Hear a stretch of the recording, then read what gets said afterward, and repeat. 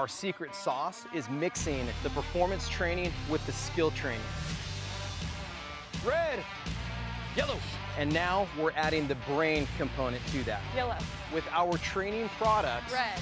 like the reactive catch, yellow, it really focuses on reaction time and processing speed. Black, because it's unpredictable, they're gonna have to use active thinking to figure out where it's going.